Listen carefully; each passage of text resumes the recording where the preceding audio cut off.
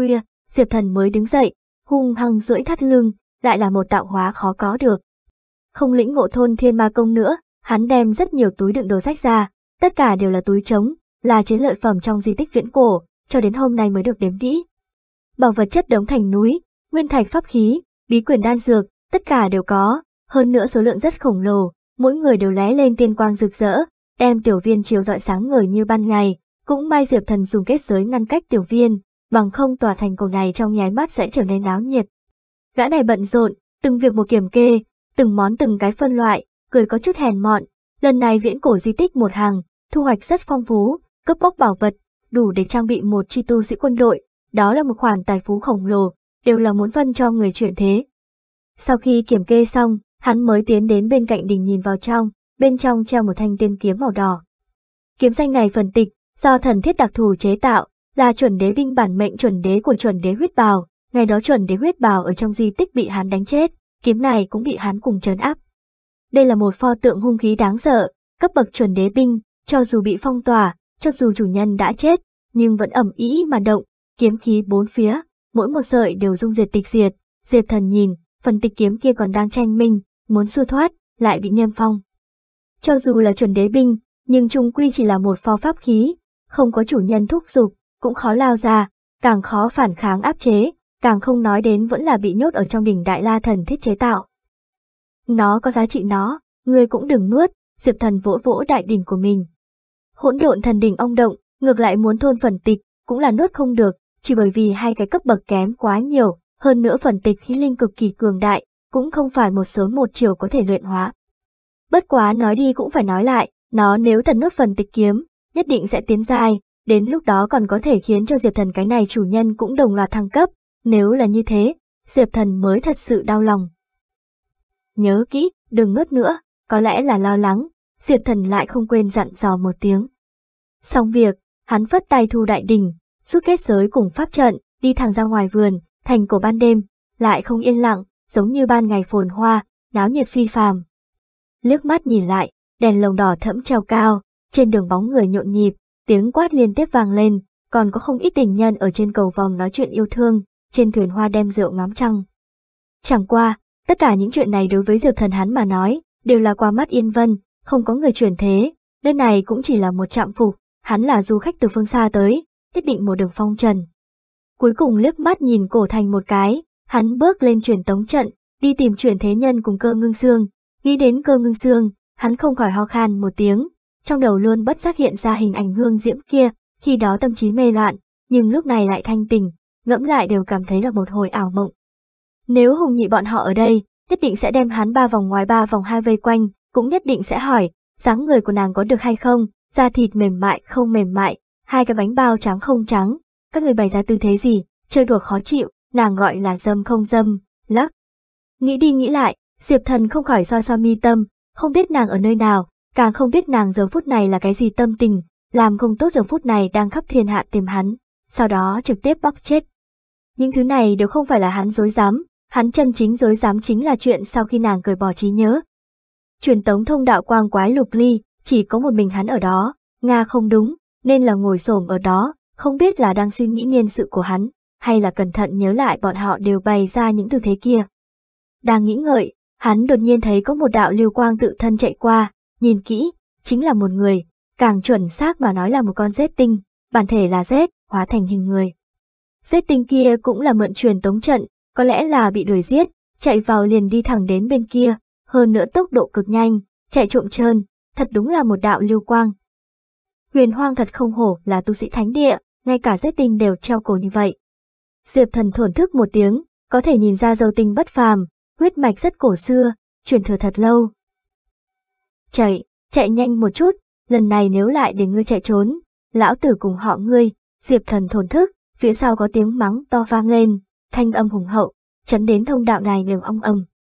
Diệp thần theo bản năng quay đầu lại, trước mặt liền cảm thấy một cỗ khí tức bá liệt mãnh liệt mà đến, đỉnh thánh huyết của hắn đều rung động, nhắm mắt nhìn, mới thấy là một con hầu tử, ừm, hẳn là một con vượn.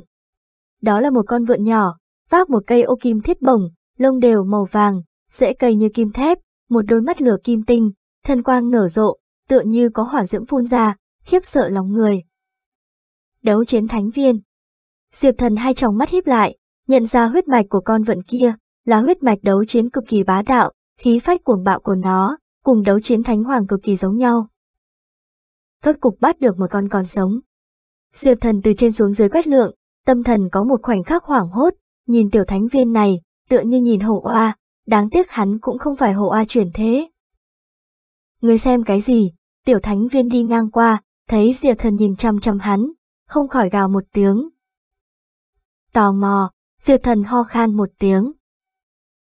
Chưa từng thấy qua trường ngươi kiêu ngạo như vậy. Hắc, tiểu thánh viên không làm nữa, tính tình nóng nảy nổi lên, sách thiết bổng muốn đánh Diệp thần, nhưng khi nhìn thấy dích tinh đã chạy ra ngoài thật xa, lại nhanh nhẹn đuổi theo, so sánh với dích tinh, tốc độ của tiểu thánh viên này mới gọi là chuồn, như một đạo kim quang rực rỡ. Rất nhanh, phương hướng tiểu thánh viên đuổi theo, liền vang lên tiếng ầm ầm, không gian thông đạo cũng rung chuyển, còn có tiếng mắng to không ngừng truyền về. Tiểu dạng nhi, chạy, sao không chạy? Đấu chiến nhất mạch, đều mãnh liệt như vậy sao? Diệp thần nhìn nhếch miệng, hắn là tận mắt nhìn thấy tiểu thánh viên đuổi theo, cũng là tận mắt nhìn thấy tiểu thánh viên một bổng đem dích dâu tinh khô ghé sấp. Giết tinh huyết mạch bất phàm, chiến lực lại càng bất phàm, không yếu hơn thiên phạt thần tử, lại một lần đối mặt đã bị tiểu thánh viên nằm sấp, thân thể thiếu chút nữa bị đập vỡ, giờ phút này huyết cốt đầm đìa. Nói thật, chiến lực cùng đế cửu tiên cùng cấp liều mạng. Diệp thần sờ sờ cầm, nếu tiểu thánh viên cùng tiểu cửu tiên cùng giai, tiểu cửu tiên hơn phân nửa không bắt được thánh viên, hắn tăng vọt. Thật sự là đi đâu cũng có tồn tại yêu nghiệt, trầm ngâm, Diệp thần lại thổn thức. Xem ra nam đế ở Nam Vực cũng không phải không có đối thủ, hơn nữa tám phần còn không ít. lẩm bẩm cái gì đây, lại đây, tiểu thánh viên đã trở lại, trong tay còn mang theo giận tin. Thành thật mà nói, tính tình của ta không tốt lắm, Diệp thần lắc đầu lắc đầu, rất không điệu điệu. Giống như ai tính tình tốt vậy, tiểu thánh viên buông dích dâm tinh xuống, một gậy đập tới. Diệp thần cũng không làm nữa, bất động binh khí, tay không tát một cái, cứng rắn bổng sắt, tiếng sấm bạo nhất thời vang lên, không gian thông đạo lại một lần nữa ong ầm, lại nhìn hai người, Diệp thần kia hùng hăng vùng tay, cùng ô kim thiết bổng kia một kích cứng thép, đánh bàn tay đau đớn. Tiểu thánh viên cũng không khá hơn bao nhiêu, đau nhe răng trợn mắt, ô kim thiết bổng đều bị chấn đến ông ông rung động. Lấy đâu chạy ra yêu nghiệt, tát đủ cứng, ta sao chưa từng thấy qua ngươi. Ngươi chưa từng thấy qua nhiều, diệp Thần mắng lại một câu, bàn tay đến bây giờ còn tê dại. Còn đeo mặt nạ, tháo cho ngươi rồi. Tiểu thánh viên lại nhào tới, ô kim thiết bổng kim quang bắn ra bốn phía, lôi đình vờn quanh, ông ông rung động, khí tức bá liệt, uy lực bá tuyệt. Diệp thần tất nhiên sẽ không đứng bị đánh, một bước dịch chuyển, thuấn thân tránh thoát, bất ngờ giơ lên bàn tay, lòng bàn tay có bí thuật cùng thần thông tự động diễn hóa, một cái đại ngã bia thủ hô qua, lại là một kích cứng rắn vỗ tay cùng bồng, không gian thông đạo dung truyền, suýt nữa tại chỗ vỡ vụn. Một hiệp không phân biệt thắng bại, hai người đứng dậy lại làm, tiểu thánh viên đánh gậy, ra tay dứt khoát lưu loát, diệp thần cũng không kém nổi tiếng, tay không cứng rắn, bí pháp cùng thần thông tầng tầng lớp lớp. Hai người đều ho ra máu, đều bị chấn động, đây là tình huống hai người không phát động toàn lực, nếu ngưu túc lực khai ra chiến lược đỉnh phong, thông đạo không gian này trong khoảnh khắc sẽ sụp đổ. Diệp thần càng đánh càng kinh hãi, tiểu thánh viên không phải bưu hãn bình thường, thiết côn một côn càng sâu một côn, khí thế hung mãnh, chiến ý vô địch, kích phát lực lượng bá tuyệt tiềm tàng trong cơ thể. Tiểu thánh viên cũng càng làm càng kinh hãi, tại huyền hoang nam vực này, một thế hệ trẻ tuổi có thể cùng hắn đấu ngang nhau, cũng chỉ có mấy người như vậy, nhưng Diệp Thần hiển nhiên không phải là một trong mấy người kia.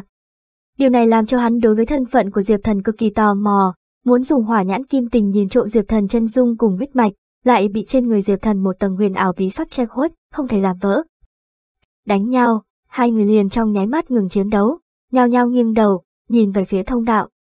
Nơi đó, có cường giả tới, cuốn sát khí cùng huyết tinh khí, là một đen một trắng hai lão giả, khí thế hùng hồn, hàng thật giá thật thánh vương, cũng không phải là nhân loại tu sĩ, bản thể là rết. Thấy thế, Diệp thần lông mày nhướng lên, nhìn hai cái rết thánh vương kia, lại liếc mắt nhìn tiểu thánh viên nằm sấp, lúc này mới hứng thú nhìn về phía tiểu thánh viên kia.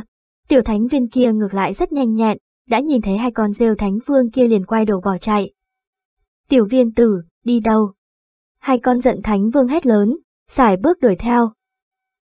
Mẹ nó, có dám độc đấu không? Phương xa chuyển đến tiếng mắng to khí phách của tiểu thánh viên, nhưng hai con dâu thánh vương căn bản không điều hắn, không nói một lời, liền bị bắt ngay tại chỗ. Diệp thần gặp lại tiểu thánh viên, chính là bị bạch y giết thánh vương sách trở về, hai tay hai chân kia lung tung bốc lên, lại thế nào cũng không cách nào tránh thoát giết giết thánh vương trói buộc.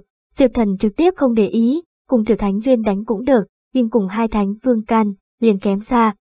Chẳng qua, hắn mặc dù không để ý tiểu thánh viên, nhưng tiểu thánh viên lại không xem nhẹ hắn, bị sách đi ngang qua, đột ngột sói gào một tiếng.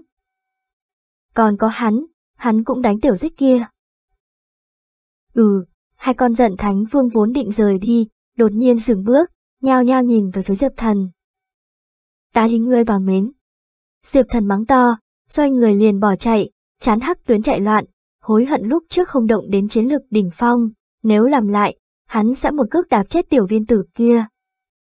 Trốn ở đâu, hắc y dâu thánh vương quát to, một bước dịch chuyển vượt qua đuổi theo. Hắc hắc, ta cơ trí.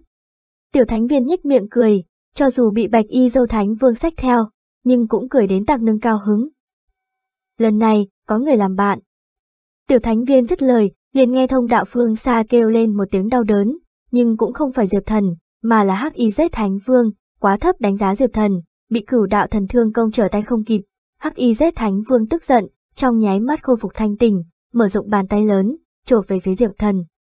Diệp Thần tự nhiên không dám cứng rắn, tránh thoát một trường chấn áp, xoay người liền bỏ chạy, tốc độ trộm, Bạch Y Dâu Thánh Vương nhìn không nổi nữa, sách theo tiểu thánh viên cũng đuổi giết mà đến, thân pháp so với Hắc Y Dâu Thánh Vương huyền ảo nhiều hơn, một bước tung người ngang qua, ngăn chặn Diệp Thần đường đi. Diệp Thần bất chấp dừng bước, muốn xoay người bỏ chạy, đã thấy phía sau Hắc Y Dâu Thánh Vương đuổi theo, trước sau chặn lại, sao có truy binh, hắn tại chỗ bị hai pho tượng Thánh Vương chặn ở trung ương. Ta không đánh con dâu nhỏ kia, Diệp Thần mắng to một tiếng, mặt đen như than cốc. Không đánh, không đánh ngươi chạy cái gì. Bạch y rậm rạc thánh vương hử lạnh, khí thế hùng hồ. Đúng, không đánh ngươi chạy cái gì, tiểu thánh viên kia cũng tới bổ đao, cho dù là bị bạch y giết thánh vương sách theo, cũng không thành thật, hô to kêu nhỏ, rầm rầm hô hô. Ngươi một tiện nhân, cút. Diệp thần mắng to một tiếng, mặt đen như than cốc, hắn là không đánh, nhưng nhất định phải chạy, cái này nếu bị bắt được, không bị giết người Việt hàng mới là lạ. Đánh hay không đánh, ngươi đều đáng chết. Hắc y giết thánh vương giết tới, tay bóp đại ấn, một trưởng vỗ về phía Diệp Thần, gã này lửa giận ngút trời, có lẽ còn đang vì lúc trước chịu thiệt mà tức giận. Thấy trường ấn gào thét mà đến, Diệp Thần giống như tiêu thương ở nơi đó, dùng chiến lược của hắn, quyết định ngăn không được Thánh Vương một trường, ở bên ngoài xem ra, hắn đã hoàn toàn buông tha chống cự. Nhưng, ngay khi một trường của Hắc Y giết Thánh Vương sắp đánh được hắn, hắn lại trong nháy mắt biến mất, mà cùng lúc đó, Bạch Y giết Thánh Vương lại không hiểu sao hiện thân ở nơi hắn biến mất. Hình ảnh quỷ dị này, làm cho Hắc Nghĩa Dâu Thánh Vương sửng sốt, ngay cả tiểu thánh viên bị sách cũng nhất thời ngẩn ra, mơ hồ nhất vẫn là Bạch Y Dâu Thánh Vương, cũng không biết đã xảy ra chuyện gì. Không sai, Diệp Thần động di thiên hoán địa bí pháp, cùng Bạch Y Dâu Thánh Vương đối đổi vị trí. Chỉ là, một trường kia của Hắc Nghĩa giết Thánh Vương, cũng sẽ không bởi vì hai người thay đổi vị trí mà dừng lại. Bạch Y giết Thánh Vương còn chưa kịp phản ứng, liền dán chắc chúng một cái tát. Bạch Y giết Thánh Vương bay ngang ra ngoài ngay tại chỗ, tiểu thánh viên hắn mang theo cũng dính đại quang, cùng nhau bị quạt bay, vốn định xem một vở kịch hay, lại bị một trường ngất ngây ngốc bức bách. Hỗn đản. Hắc Y giết Thánh Vương nổi giận gầm lên, mi tâm bay ra một cái lò đồng, nở rộ uy áp Thánh Vương, từng luồng khí lưu tiên tràn ra, như núi nặng nề, muốn một kích chấn áp Diệp Thần. Diệp Thần một bước sau bỏ chạy, lại một lần nữa thi triển di thiên hoán địa, tiểu thánh viên còn chưa rơi xuống đất kia, bị hắn rất tự giác thay đổi lại, tiểu thánh viên quỳ tại chỗ, bị áp đến lảo đảo. Đi ngươi bà mến, tiểu thánh viên phun máu tại chỗ, không biết bị tức hay bị thương. Là ngươi trước lừa ta. Diệp thần một bên khai lần một bên mắng to một bên lần thứ hai thi triển di thiên hoán địa, cùng tiểu thánh viên đối đổi, bởi vì bạch y dâu thánh vương này cũng ra tay. Ta. Tiểu thánh viên lần thứ hai bị hố, một hơi không lên, lão huyết cuồng phun, thánh vương một trường, không cần quá treo cổ, để cho thân thể nhỏ bé này, trong nháy mắt bị khô vỡ vụn.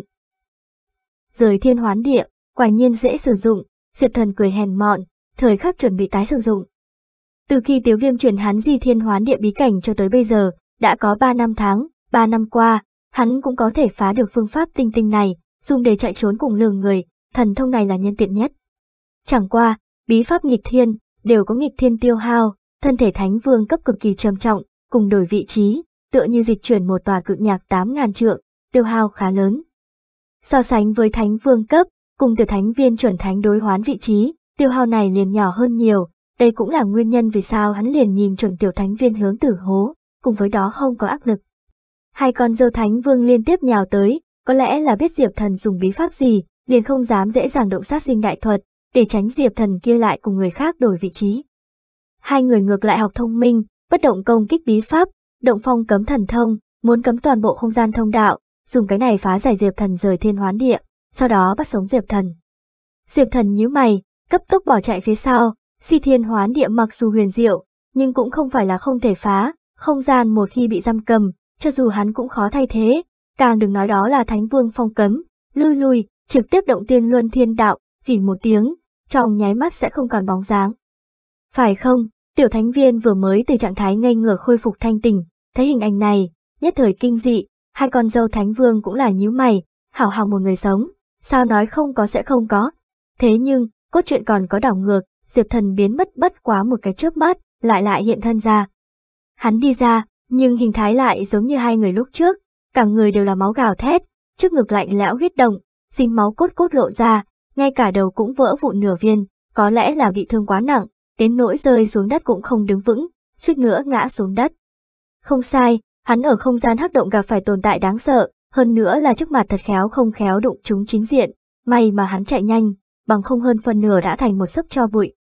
Không gian hắc động nguy cơ bốn phía, hắn so với bất luận kẻ nào đều rõ ràng, không đến vạn bất đắc dĩ thời điểm, hắn tuyệt đối sẽ không động thiên đạo, nhưng hết lần này tới lần khác chính là như vậy, nên đuổi kịp vẫn là bắt kịp.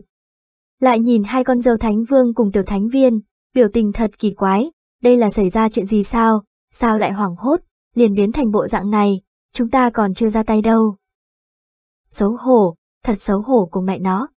Diệp thần lại nua một chút, cuối cùng là ổn định thân hình, bá đạo khôi phục lực, để cho hắn vỡ vụn đầu cùng thân thể nửa tàn, cấp tốc khôi phục như cũ. Cấm. Phản ứng kịp hai cái dâu dầu thánh vương rõ ràng lạnh lùng, thì triển đại thần thông phong bế không gian thông đạo, chỉ cần diệp thần không động được di thiên hoán địa, những thứ khác cái gì cũng dễ làm. Bắt rồi, hai thánh vương chạy hai phương, một người đi bắt diệp thần, một người đi bắt tiểu thánh viên. Lão già, buộc ta phóng đại. Tiểu thánh viên mắng to, thiết côn vô tận trong tay ong ong, bất ngờ nện vào không gian thông đạo, một gậy đem không gian thông đạo đập trong nháy mắt vỗ vụn. Cho ngươi một cái lớn, Diệp Thần Lang Chu không phần trước sao, một kiếm chém đứt thông đạo. Không gian thông đạo rung chuyển, bởi vì hai hàng này công kích, từng tấc từng tấc sụp xuống, hai người bọn họ trước sau bị cuốn vào trong khe nứt không gian, hai con rết thánh vương cũng giống nhau, cùng nhau bị cuốn vào. Đêm đêm, chật ầm ầm, chọc đến đi ngang qua tu sĩ ghé mắt, theo bản năng ngước lên nhìn bầu trời. Nhưng thấy thiên tiêu nứt ra một khe hở lớn, bốn đạo thân ảnh chật vật rất có trật tự ngã ra, chính là Diệp Thần cùng Tiểu Thánh Viên, cùng với hai con rết thánh vương kia, đều là toàn thân máu tươi đầm đìa. Không gian thông đạo vỡ vụn, bị cuốn vào khe nứt không gian sao, đi ngang qua tu sĩ đập kinh dị. Hai chuẩn thánh hai thánh vương, tám phần là ở trong không gian thông đạo can cãi, lão gia hỏa nhao nhao trầm ngâm. Thật đúng là nhàn rỗi, chạy tới không gian thông đạo đấu chiến, đáng đời chật vật như thế. Chạy đi. Khi bốn phương chỉ trỏ, tiếng sói chu đã nổi lên, chính là xuất phát từ tiểu thánh viên, gã kia rất thông minh, đứng lên liền bỏ chạy, ngay cả lăn lộn bò, Diệp Thần cũng là lăn lộn, tư thế bỏ chạy cũng không phải là khí phách bình thường, hơn nữa chạy tập nhanh. Đi đâu? Hai con dâu thánh vương quát to, một bước vượt qua hư thiên, đuổi thẳng hai người mà đến. May mà tiểu gia ta sớm đã có chuẩn bị, tiểu thánh viên nhếch miệng cười, há mồm phun ra một luồng tiên quang, hóa thành một tòa vực đài loại nhỏ, một bước bước vào, muốn mượn nó bỏ chạy. Diệp thần thấy thế, lông mày nhướng lên, cũng lười đặt trong túi mình tìm truyền tống vực đài, trực tiếp động di thiên hoán địa, đem tiểu thánh viên vừa mới bước vào vực đài thay đổi ra. Mẹ kiếp!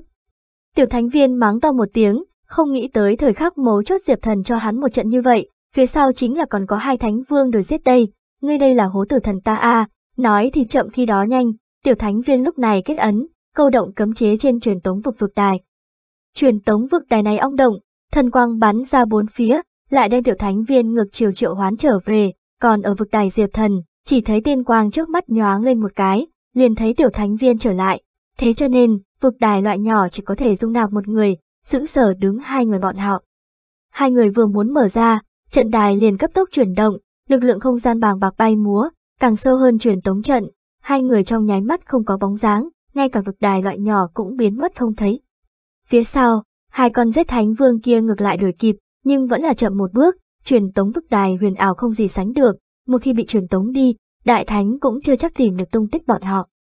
Đáng chết, hai thánh vương nghiến răng nghiến lợi, đường đường là hai pho tượng thánh vương, thật đúng là mất mặt ném về nhà, chẳng những không bắt được hai chuẩn thánh cấp không nói, còn đem chính mình chỉnh chật vật như vậy. Nhưng tức giận cũng không cách nào khác, mọi người đều đi rồi, lấy đạo hạnh của bọn họ, đuổi theo khẳng định là đuổi không kịp, vấn đề là căn bản không biết đuổi theo đâu, có trời mới biết hai tên kia truyền tống đi về phía nào. Ở lại một lát, hai người nhao nhao hừ lạnh một tiếng, cùng nhau lên trời, xoay người đi thẳng về phía bên kia. Bọn họ vừa mới đi không bao lâu, hư thiên một phương tám vạn dặm, liền vang lên ầm ầm, hai đạo bóng người chật vật rơi xuống, cẩn thận nhìn, chính là Diệp Thần cùng tiểu thánh viên hai hàng kia. Vực đài loại nhỏ chỉ có thể cho một người sử dụng, hai người cùng sử dụng, cũng không phải đã xảy ra chuyện, cũng may hai hàng ở vực đài không có giá đỡ, bằng không tám ngàn dặm cũng chưa chắc có thể chống đỡ được. Phía dưới hai ngọn núi xui xẻo, một tòa bị Diệp Thần đè sập, một tòa bị tiểu thánh viên đè sập. Diệp Thần tức giận không nhỏ, từ trong đá vụn bay tán loạn nhảy ra, mang theo lang nha bồng đen nhánh liền tới, sắc mặt đen sạm, nếu không phải tiểu viên từ này, hắn hơn phân nửa đã tìm được mấy người truyền thế. Đối diện, tiểu thánh viên kia cũng nhảy ra, sách ô kim tiên thiết côn, hỏa khí càng lớn, hắn là hố Diệp Thần không sai, nhưng Diệp Thần hố hắn càng thảm, hơn nữa lừa hắn hai lần. Hôm nay không đánh khóc ngươi không tính là xong, Diệp Thần khai khô, lang thiên một bổng bá vô cùng. Ngươi cho rằng lão tử là ăn lớn lên. Tiểu thánh viên gào thét, lay động ô kim thiết bổng nghịch thiên giết lên, một gậy trước mặt có thể nói là bá liệt, chân đến không gian bầu trời đều ong ong rung động. Một kích cứng rắn, bất phân thắng bại, đại chiến nhất thời mở ra, dao động không nhỏ, một mảnh núi non hảo hảo, bởi vì hai tên này đại chiến, bị san thành bình địa, đập vào mắt đều là lờ loét, không biết từ khi nào, tiếng ầm ầm mới bị dập tắt, đã thấy trên đống đổ nát kia dấy lên đống lửa trại mãnh liệt.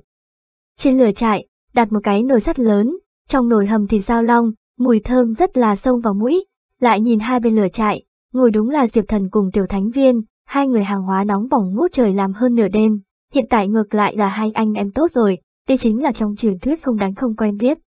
Muốn nói hình thái hai người, có chút không tốt lắm, Diệp Thần bị đánh đến mặt mũi bầm dập, cả người quần áo rách nát không chịu nổi, bị đãi từng đạo một, giống như là bị chó bắt. Tiểu Thánh Viên cũng không khá hơn bao nhiêu, hai con gấu trúc mắt đều chỉnh tề, lông như kim châm, đều xoăn lại, đen xì, hai lỗ mũi đến bây giờ còn đang chảy máu cam. Ngươi cây bưu tạ này, tổ chuyển đi. Tiểu thánh viên lao một phen máu mũi, hai mắt tỏa sáng nhìn lang nha bồng của Diệp Thần, dùng hỏa nhãn kim hoàn của hắn, tôi có thể nhìn ra lang nha bồng bất phàm, đó cũng không phải lang nha bồng, mà là một pho pháp khí khủng bố biến ảo tới, tạc bá đạo. Ta bấm ngón tay tính toán, người thiết cô này cũng là tổ truyền, Diệp Thần mím tóc rối bời, vẻ mặt ngữ trọng tâm trường, nếu là cầm đi bán, có thể bán giá tốt. Nếu không, hai chúng ta đổi lại, tiểu thánh viên xoa xoa móng vuốt, lộ ra hai hàng răng trắng như tuyết. Nào, nhìn hình miệng của ta kìa, ca ốc ân. Diệp thần trực tiếp thu lang nha bồng, nói giỡn, lão từ đây chính là hỗn độn thần đình biến. Người nhà ngược lại không ngốc, lấy một cây côn đổi theo ta. Ta đây cũng là bảo bối. Tiểu thánh viên vẻ mặt không cho là đúng, ôm cây thiết côn kia của hắn, không ngừng ngậm hơi lên trên, cũng không quên cầm một miếng rẻ lao lao một chút, một bên lao một bên như có như không nói. Ta là viên phi, nam vực cho mặt đều sẽ gọi ta một tiếng tiểu viên hoàng, trong số những người cùng thế hệ, có thể áp chế ta một bậc. Người không phải hạng người vô danh. Gọi ta là Lý Nhị Khuê là được rồi, cái tên này ta tặc thích, Diệp Thần tùy ý trả lời một câu. Đừng nháo, nói tên thật, Diệp thần. Diệp thần, tiểu viên hoàng sờ sờ căm. Tên này sao lại nghe quen tai như vậy? Nghĩ đi nghĩ lại, gã này liền mạnh mẽ nghiêng đầu, từ trên xuống dưới quét qua Diệp Thần, ánh mắt kỳ quái. Diệp Thần trực tiếp không nhìn ánh mắt kia, lấy vỗ vỗ mông đứng dậy, xoa xoa tay tiến đến trước nồi sắt lớn, dứt khoát trực tiếp xuống tay vớt, tư vị thịt dao long, vẫn là rất tuyệt vời, đằng sau. Biểu tình của tiểu viên hoàng từ kỳ quái biến thành đặc sắc, cùng Diệp Thần đánh hơn nửa đêm, sững sờ không nhận ra hắn chính là hoang cổ thánh thể, cũng khó trách chiến lược có thể áp chế hắn một đầu. Không phải nói chết ở di tích viễn cổ, tiểu viên hoàng vùi đầu nói thầm. Chạy này cũng nhanh chóng, hôm qua còn ở di tích viễn cổ, hôm nay liền chạy nam vực, trao đi. Hỏi ngươi hỏi thăm một chuyện, Diệp thần sách theo một khối long nhục ngồi bên cạnh tiểu viên hoàng, một bên gặm vừa hỏi. Mấy ngày gần đây, người đã từng nghe qua tin tức của Đông Thần. Chưa từng nghe qua, tiểu viên hoàng lắc lắc đầu. Ta cũng là hôm qua mới xuất quan. Vậy thật đúng là tiếc nuối, Diệp thần nói xong, theo bản năng đứng lên, ngửa người nhìn mờ ảo hư vô, có lẽ là thấy được hình ảnh rất đặc sắc, ngay cả thì trong miệng đều quên nhai. Nhưng thấy mờ ảo hư vô thượng, có một đạo lưu tinh xẹt qua, cũng có thể nói là một đạo tiên quang, tốc như kinh hồng, đó là hai người, một vị tử bào lão giả, một vị bạch y nữ tử.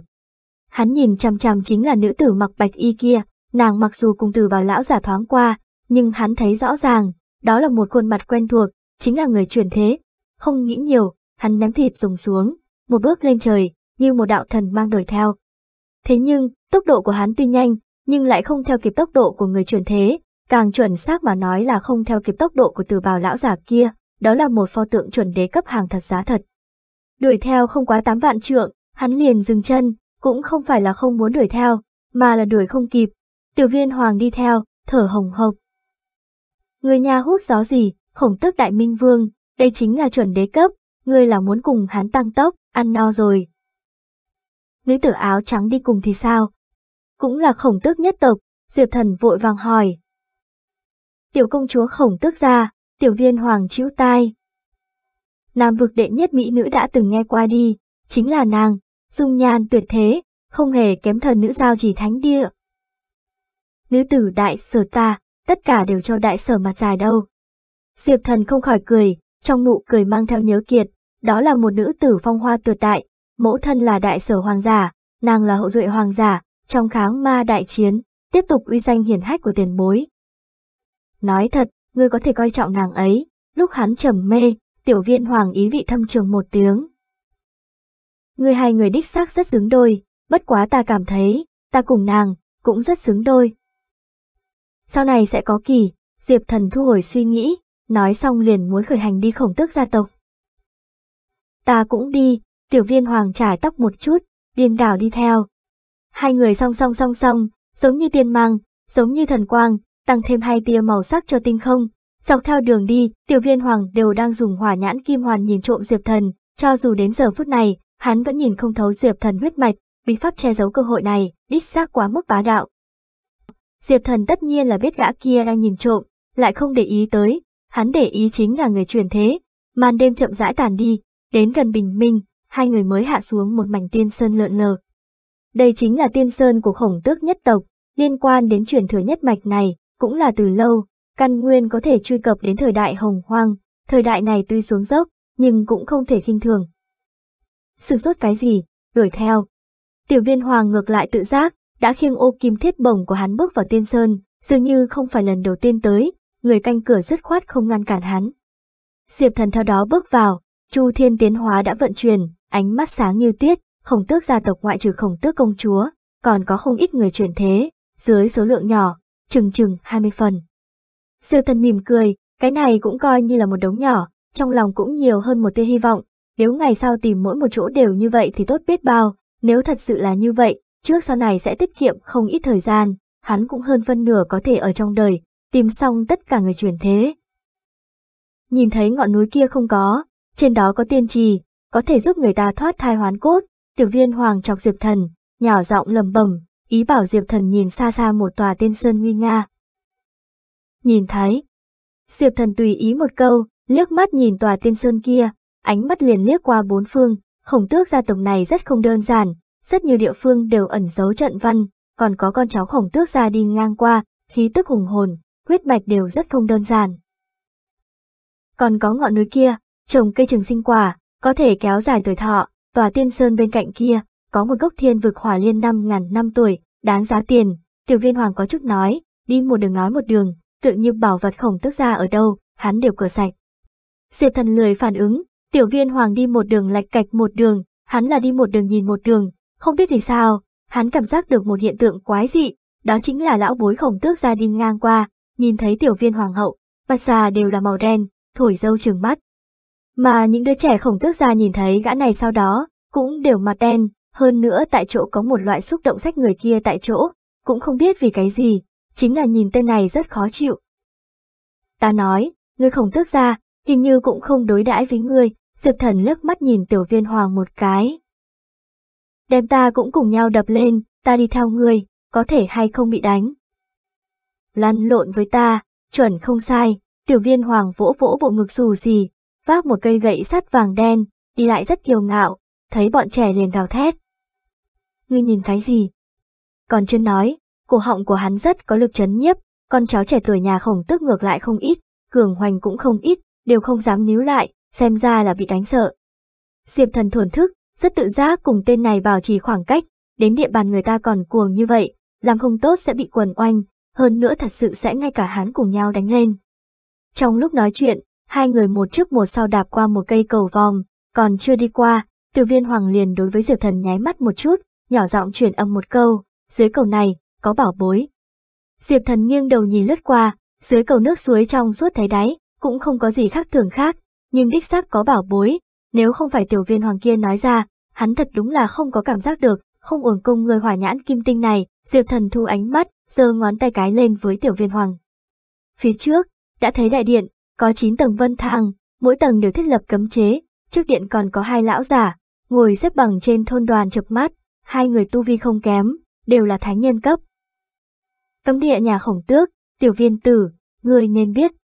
Diệp thần cùng tiểu viên hoàng vừa đến, trong đó một lão giả liền mở miệng, trên trán còn có một hai sợi dây đen đang chạy tán loạn.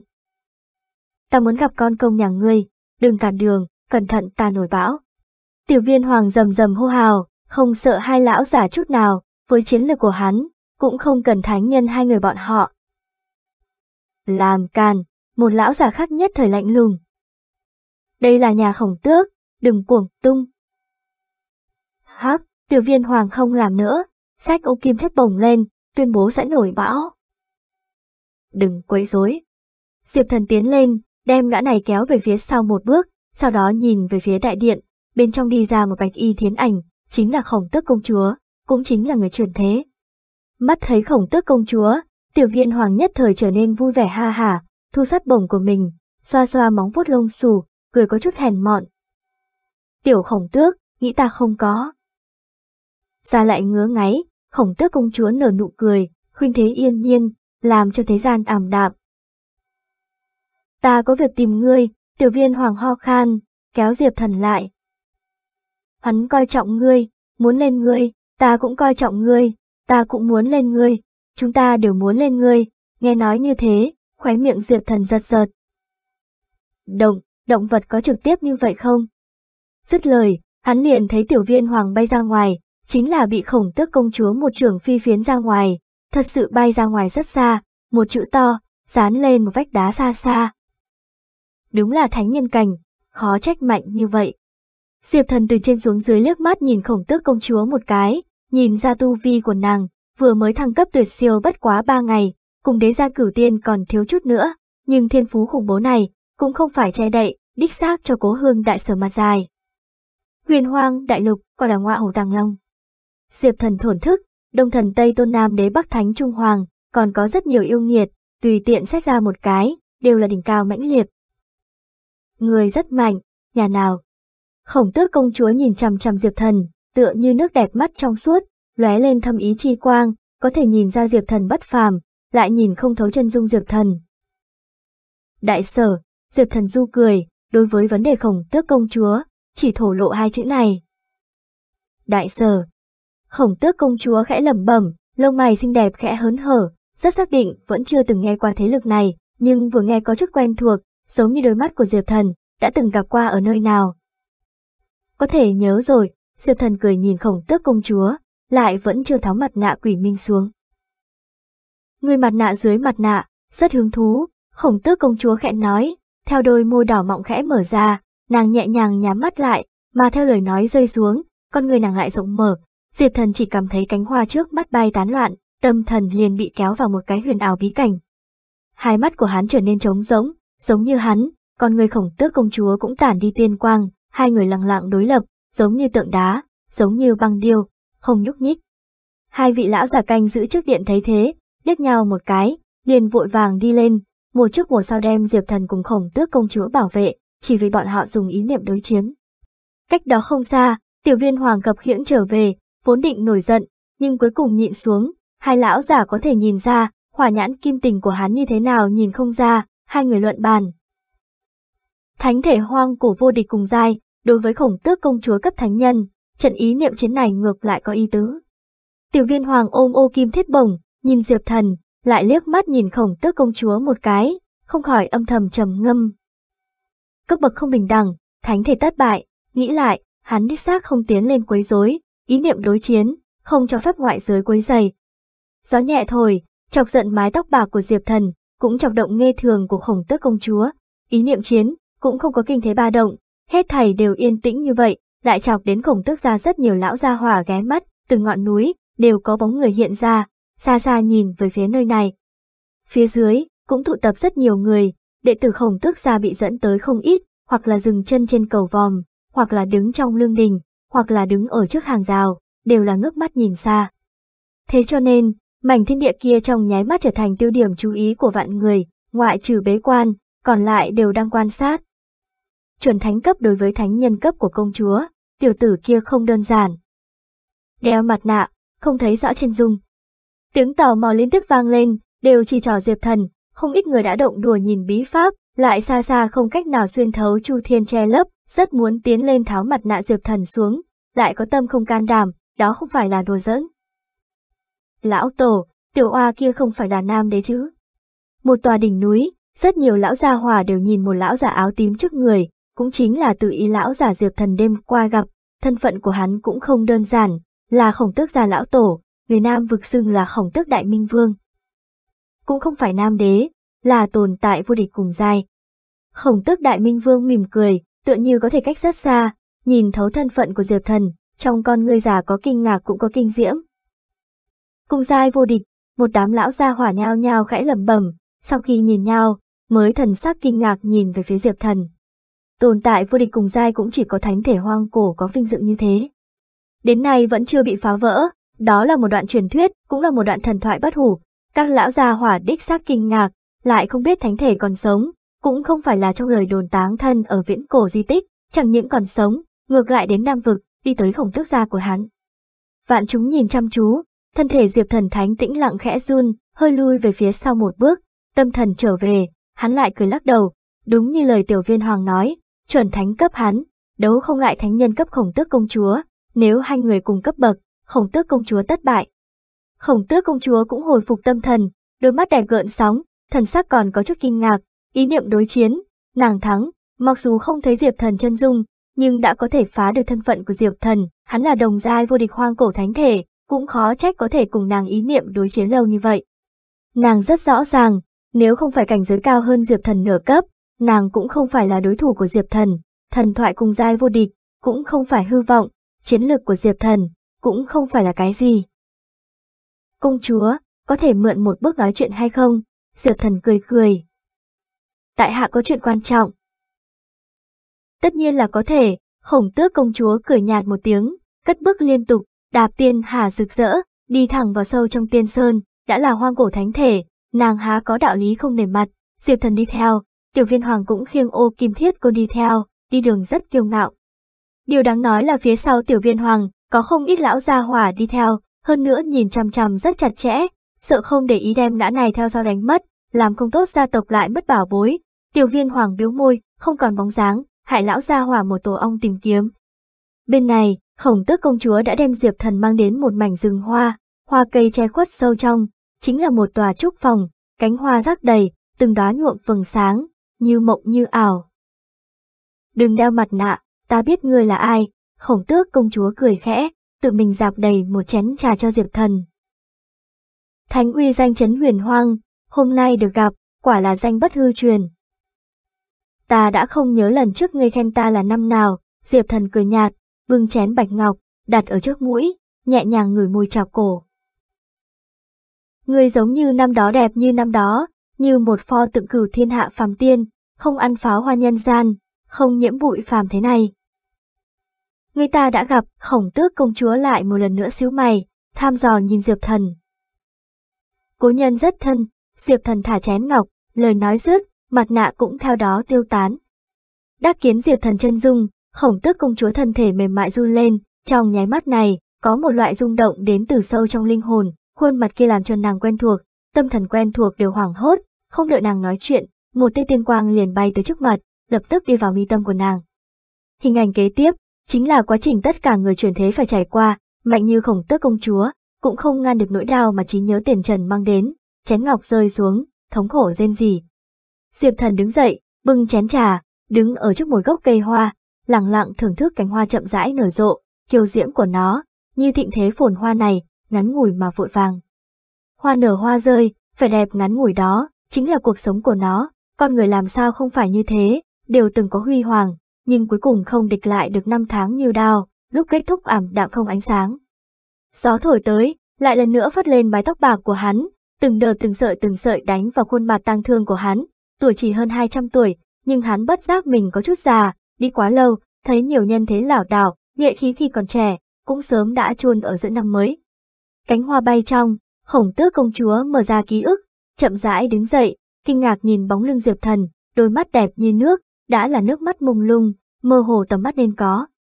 Nàng đã nhớ tới tên của mình, nàng tên là Thiên Thương Nguyệt, tiên tử Quảng Hàn Cung, nữ nhi của Nguyệt Hoàng, một đoạn quá khứ bị bụi bặm kia, từng chút từng chút in ở trong linh hồn, Diệp Thần xoay người, đối với nàng cùng ấm áp cười, tự như một luồng gió quê hương, rất là ấm áp. Thiên Thương Nguyệt khóc cười, chậm rãi mà đến, dừng chân ở trước người Diệp Thần, vươn bàn tay ngọc, nhẹ nhàng vuốt ve khuôn mặt kia, nhìn như si như say, cũng nhìn vẻ mặt lệ lệ, Diệp Thần không trốn, tùy ý vuốt ve, biết nàng cũng không phải là giờ Diệp Thần, mà là đang sở thần huyền cảnh. Cho dù là đạp kiếp trước kiếp này, trải qua 200 năm tháng, nhưng vẫn nhớ rõ người nàng không nên yêu, đó là sát thủ thần triều thánh chủ, đã từng suýt nữa tuyệt sát sát thần mẫu hoàng hắn. Thần huyền phong, đã là một cái thật lâu xa danh, cùng Diệp thần sinh ra một khuôn mặt giống nhau như đúc, ở kiếp trước chết ở trong ngực nàng, nàng đến nay chưa bao giờ kịp nói ra phần tình kia. Diệp thần vẫn không nói như trước, dù sao cũng phải cho nàng thời gian phản ứng, cũng phải cho nàng thời gian lắng động chuyện cũ của tiền trần, cùng phần tình duyên đầy mắt lở loét kia, phần mê ly này, hắn không nên đi phá phỡ Hắn, có thể chuyển thế. Vạn đình yên tĩnh, cuối cùng bị khổng tước công chúa một câu đánh vỡ, nương theo nước mắt rơi xuống, mà trong miệng nàng, tất nhiên chỉ sát thần huyền phong. Còn đang tìm, sẽ tìm được. Diệp thân mỉm cười, cũng không dám xác định đáp án cho nàng, hắn cũng không biết thần huyền cảnh có tư cách luân hồi truyền thế hay không, hắn cần đi tìm đáp án. Cảm ơn, thiên thương nguyệt lệ như mưa, nước mắt thê mỹ, xẹt qua gương mặt thê mỹ. Mẫu hoàng ngươi cũng còn sống, Diệp thần ngồi xuống, nói ra bí mật cổ xưa. Mẫu thân ta còn sống không? Thiên thương nguyệt dương mắt lên, cho rằng mình nghe lầm. Tất nhiên là còn sống, đại sở cửu hoàng đều còn sống. Diệp thần cười, vừa nói chuyện cổ xưa, một bên đưa ra một cây ô trời, đó là phục ma thiên tán, là pháp khí bản mệnh của Nguyệt Hoàng, sau đại chiến kháng ma, phục ma thiên tán bị hắn tìm được, mang theo bên người đã hơn 200 năm. Thiên thương Nguyệt mừng đến phát khóc, so với tiến giai thánh nhân càng kinh hỉ hơn, so với luân hồi chuyển thế càng kích động hơn. Sau đó, Diệp Thần lại nói rất nhiều, có liên quan đến đại sở, có liên quan đến 200 năm kinh nghiệm này, như một lão nhân, đang vì hậu bối kể chuyện xưa, ngữ khí từ đầu đến cuối đều bình thản thản nhiên. Bí mật liên quan đến thần huyền phong, hắn tất nhiên sẽ không nói ra với nàng, đó là một sát thần chân chính, là tương lai thời không diệp tinh thần, hàng lâm ở thời không này, quên đi sứ mệnh của mình, như hồng trần như lục đạo, như một cỗ sát chết tàu hồn, lãng đãng trong thiên địa. Người nói vô tâm, người nghe cố ý, thiên thương nguyệt nghe được khẽ nghiến răng, thổn thức chuyển thế mộng ảo, cũng khiếp sợ hành động của diệp thần, hắn tàn sát đại đế, vì đại sở thương sinh đòi nợ máu. 200 năm như chớp mắt, đối với hắn mà nói, lại rất dài rằng rạc, từng sợi tóc dài trắng như tuyết kia, trên khuôn mặt kia một chút tăng thương vốn không nên có, nhìn đều làm cho người ta đau lòng. Nhưng hắn nói nhiều như vậy, lại duy chỉ có sở huyên cùng sở linh, một đường phong trần hắn, chính là mang phần nhớ nhung kia, từng bước đi tới hôm nay, toàn thân đều là vết thương. Tán gẫu một ngày còn thiết lập kết giới, xem ta đánh nát người trong người. Lúc thiên lệ nguyệt trầm mặc, bên ngoài rừng hoa vang lên tiếng mắng chửi, tiểu viên hoàng kia, sau đó là một đạo tiếng ầm ầm, hoa lâm run rẩy, kết giới diệp thần trước đó thiết lập bị phá vỡ, tiểu viên hoàng sách thiết bồng tiến vào, cũng là mặt mũi bầm dập, tóc lại lộn xộn, xem ra bị người đánh không nhẹ. Diệp thần liếc mắt nhìn hàng kia một cái, không cần đi hỏi liền biết vì cái gì, nhất định trộm bảo vật người bị bắt được, hắn có thể tưởng tượng ra một đám lão gia hỏa vây quanh hắn đạp loạn hình ảnh kinh điển. Ngươi hai người trốn ở đây, không phải là vụng trộm chứ. Tiểu viên hoàng cắm thanh sắt trên mặt đất, không lấy mình làm người ngoài, tự mình hái đào từ trên cây, nhạt những cái lớn. Lại thổ hoang đường ngôn, ta liền đương người lên trời đi dạo, thiên thương nguyệt du từ một tiếng. Đừng náo loạn, ta vừa bị đánh. Tiểu viên hoàng ôm một đống đào, trong tay còn cầm một cái, gặm là không mặt mũi không ra. Nhà ngươi có khách quý,